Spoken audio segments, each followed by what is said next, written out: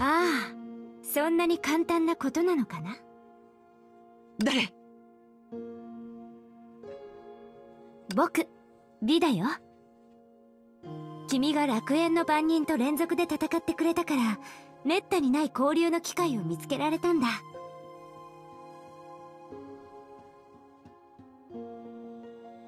楽園の番人？ああその投影の安定性に影響を与える怪物のことだよ。厳密に言うと奴らこそがポロスというかこの惑星の原住民なんだ。話せば長くなるけどね。簡潔に話そうか。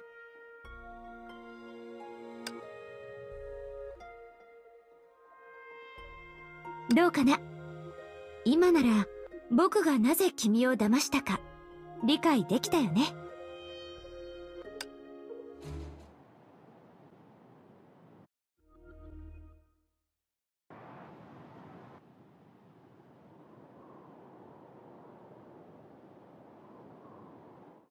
オレンジ姉さん今のは？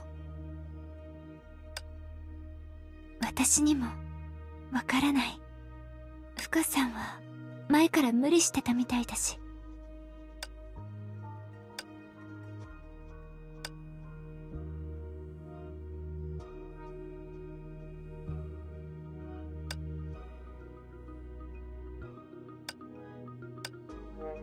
和子きっと深さんは大丈夫だよ。以前も一人で禁足地に入ってグレイシュさんを助けたでしょ。うん。だからね。急に深さんが行方不明になったからこそ私たちはここで立ち尽くすわけにはいかないの。レッドを探すためにここに来たならレッドの注意を引くように何かをするべきかもしれない。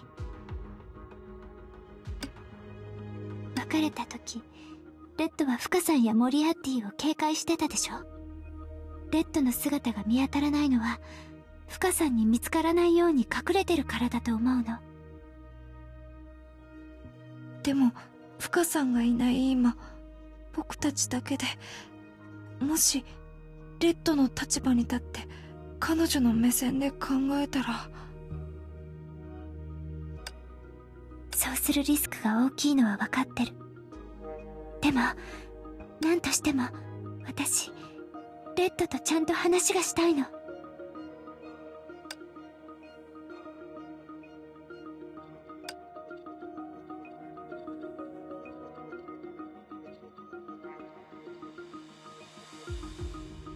それは倉庫で少年悪党団の基地で見つけたあのお祭りの地図。インディゴが意味のない手がかりを残すはずがない。だから地図にあるマークを参考にしていいと思う。モリアーティが怪物を操って僕たちの邪魔をしてきたならこの地図は彼の計画と関係があるってことになる。そうじゃなかったとしてもインディゴはこの地図を通して何かを伝えようとしてるんじゃないかな。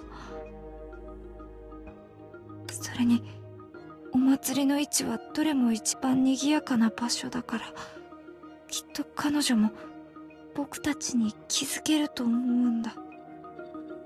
すごい。さすが和子深さんが戻ってきたらビタを全員集めよう。あとグレイシュさんも。そうしたらみんなで一緒にモリアーティを倒そう。善は急げって言うし私たちも早速出発しよう。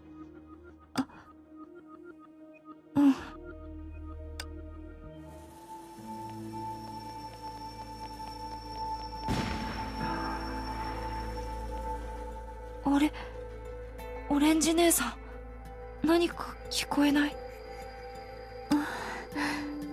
全然。じゃあ僕の気のせいかもしれない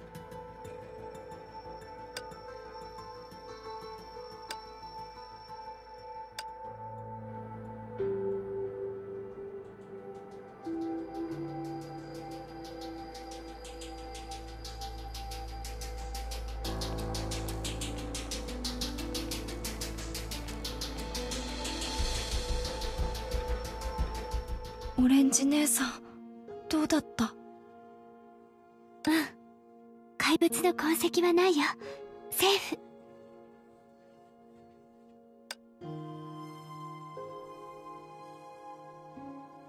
ここは前回のお祭りで露店があった場所だけど今は何もないね。お祭りは定期的に開かれるから。終わったらみんなは普通の暮らしに戻る。でもお祭りが終わっても美しい記憶はみんなの心に残ってると思う。それもそうだね。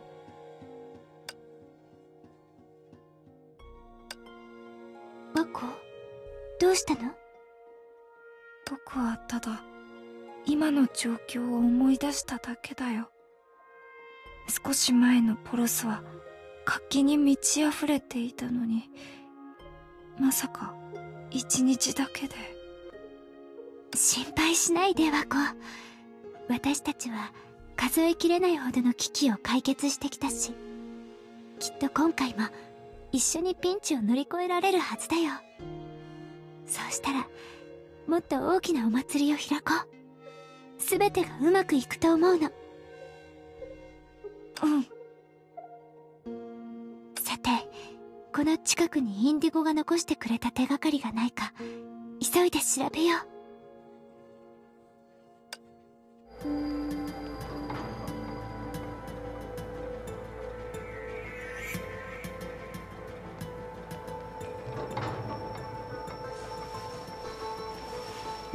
何もなかったね。次の場所に行こう。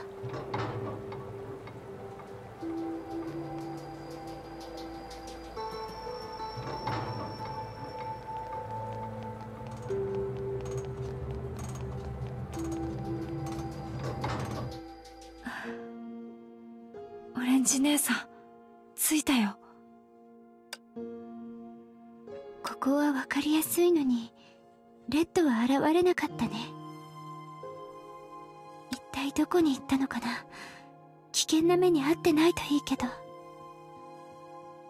それに手分けして行動してるグレイシュさんたちも。ダメ。今は一気に考えるべきじゃない。まずは一つずつ解決していこう。オレンジ姉さん。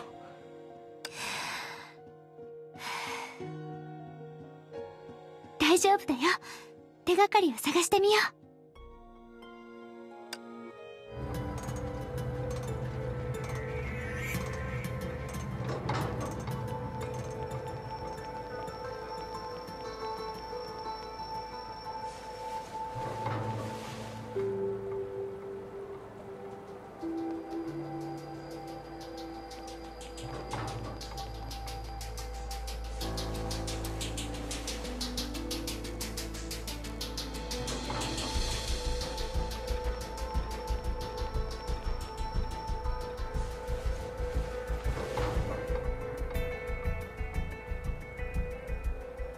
ぱり何もなかった。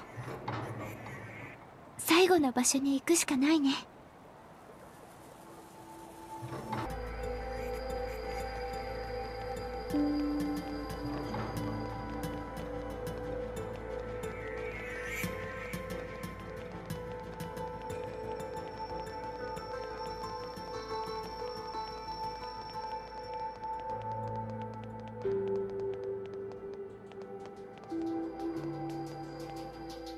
マークがある最後の場所はここだよ。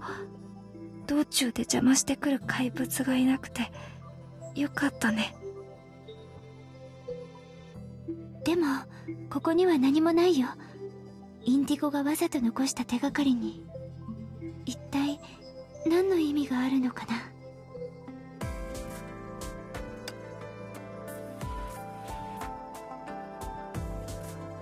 の地図に別の意味があるのかもしれない。でも場所を示す他に地図に何ができるんだろう。ここだったんだね。ここがどのお祭りの場所か思い出したよ。3年前の花火祭り。そうだよね。確かあの時はレッドが急にやる気になってトラブルを起こしかけたんだよね。ビタ姉さんもいたから大ごとにならずに済んだけど。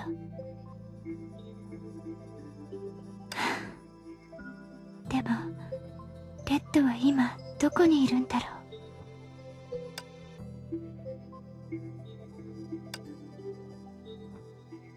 う。ねえワコ。あそこを見て。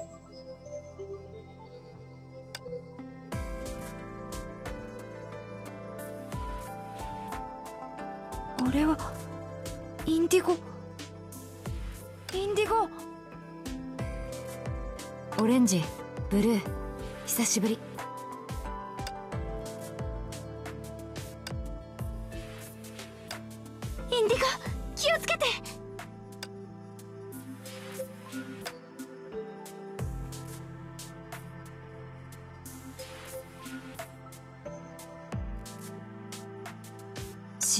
ないで。僕もモリアーティと同じように関連権限を手に入れたんだ。奴を操れるから怪我人なんて出さない。というより奴がいたからこそ途中の崩壊獣を倒せたんだ。そういうことだったんだね。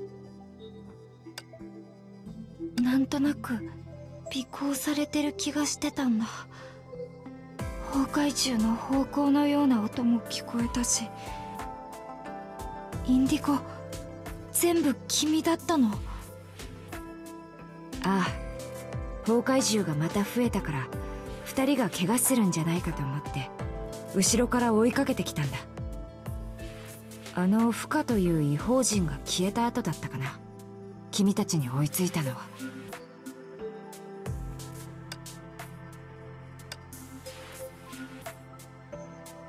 カさんの状況は私たちもよく知らないの。それよりレッドを見かけてない理由は知らないけど彼女の記憶が少し混乱してるみたいなの。それでいろいろ誤解があって一人でどっかに行っちゃって。心配しないで。たまたま街で崩壊獣に包囲されてた彼女とばったり会ったから。今はもう安全だよ。よかった。レッドったらそそっかしいんだから。何しろあのレッドのことだからね。それでさっきから聞こえてきてたけど二人はレッドに関することを思い出そうとしてるの？インディゴも覚えてるよね。3年前の花火祭りのレッドのことを。なぜか急に一瞬で終わる花火を博物館に保存したいって言い出して。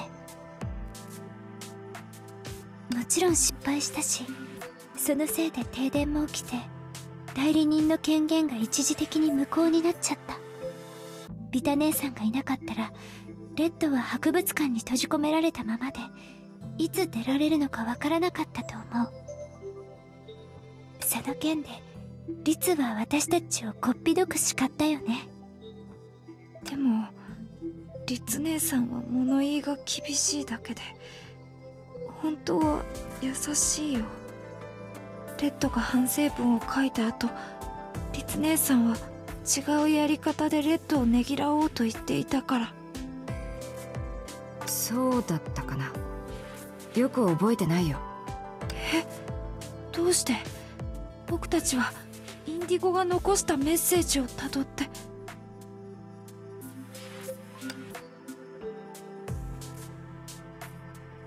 これがインディゴがあの地図を残した本当の目的だったのかな。彼がプリンをこっそり食べたことを僕たちに思い出させるように。違う。彼が僕たちの思い出を使って情報を残そうとしてるならどうしてよく覚えてないって言い出したんだろう。僕たちはちゃんと正解を口にしてるのに。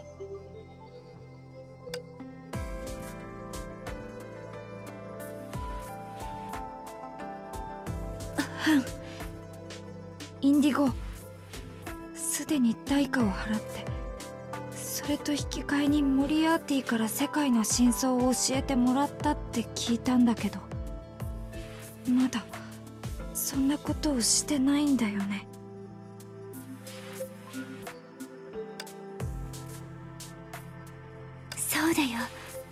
ンディゴ慎重に行動しなきゃ。あなたは私たちの中で最も聡明で物知りだけどモリアーティは狡猾な犯罪者だってフカさんが言ってたの。彼に騙されないように気をつけて。フカさん例の違法人のことか。彼女はどういう人間なんだ？そうだった。インディゴはまだ彼女のことをよく知らないんだよね。私たちが崩壊獣に襲われた時フカさんが助けてくれたおかげでみんな無事だったの。これが私たちとフカさんが経験したことだよ。ね。フカさんはモリアーティと同じくらい頭がいいのに彼のように何かを企んでる人じゃないでしょ。それにインディゴも見たよね。僕たちを守るためにフカさんはずっとモリアーティの怪物と戦ってた。インディゴ私たちと一緒にフカさんやその友達を見つけよう。私たちが力を合わせたらモリアーティがいなくてもきっと怪物の根源とこの世界の真実を知ることができるはずだよ。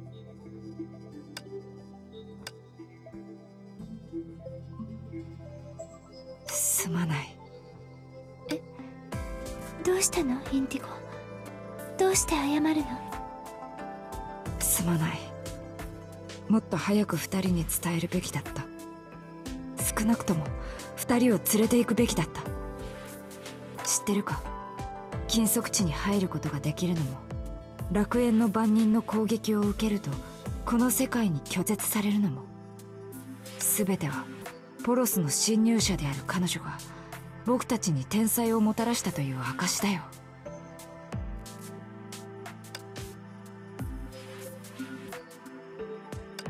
彼女とその友人が世界の外からやってきた異物なんだ。そして君たちの記憶を改ざんして天才を忘れさせた。彼女たちがその事実を知っているかどうかは別として。またそれこそが僕たちが禁足地に入ってはいけない。本当。オレンジ姉さん何かが違う。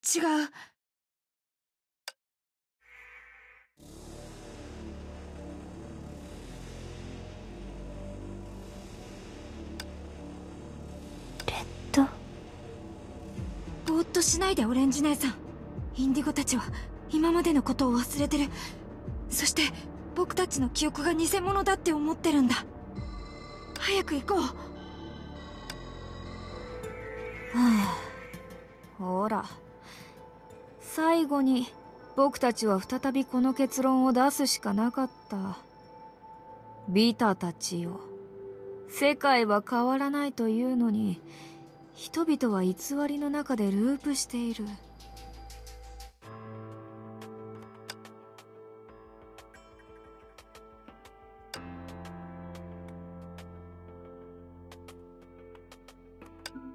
わかるよ。きっと君たちも迷っているんだろう。何しろこんな予想外のことに遭遇したら誰だってどうすればいいかわからなくなるからね。何があったのかは僕が説明しよう。